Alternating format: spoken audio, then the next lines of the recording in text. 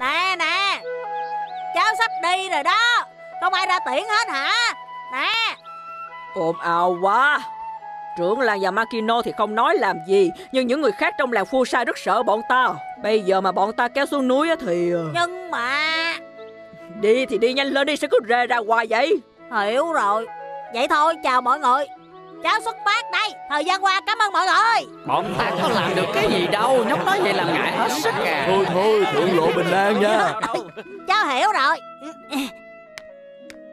À phải rồi. Gì đó đó Chuyện là cháu không có ưa sơn tặc đâu. Im đi cái thằng tiểu quỷ đáng ghét kìa. Nhưng với mọi người thì cháu rất thích Sao không chịu mau đi đi Cứ đứng đó làm nhảm hoài với cái thằng tiểu quỷ phiền phức kìa. Thiệt tình hai đứa mày đúng là y chang nhau à Chị vậy? Gì khóc hả? Không nào Bụi bay vào mắt chứ bộ. Nè muốn ra biển sẽ không xài chiếc thuyền đánh cá cũ của chú hả Luffy? Cái thứ cháu đang ngồi có thể chìm bất cứ lúc nào đó. Bộ không sợ chút nào hết hả nhóc con? Dạ vậy là được rồi. Cháu muốn bắt đầu hành trình của mình bằng nó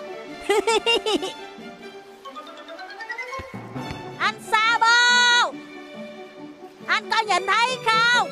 Em sẽ tiến ra biển ngay bây giờ. Đầu tiên là anh Sabo Sau đó là tới anh ấy. Em là người xuất phát cuối cùng Nhưng sẽ không chịu thua đâu. Anh chờ đó mà coi anh ấy. Em sẽ lập tức đuổi kịp anh. Nhóc bị sao vậy hả Luffy? Nãy giờ cứ là hết ông sương hoài vậy. Bộ nhóc đã đọc thần chú hả? Thần chú cái gì chứ? Đó là một lời tuyên chiến. Mà ai là ai mới được chứ? Ai biết? Được rồi Mọi người cháu lên đường đây Ờ.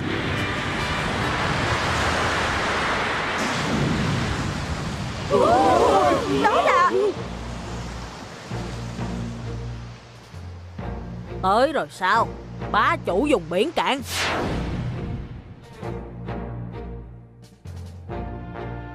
Ngươi đã chọn lầm đối thủ rồi.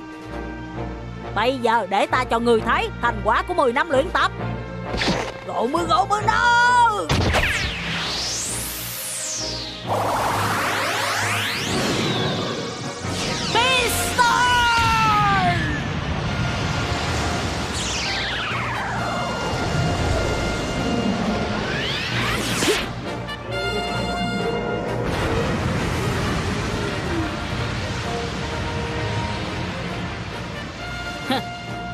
Sáng mắt ra chưa hả con cá đáng ghét? Yeah!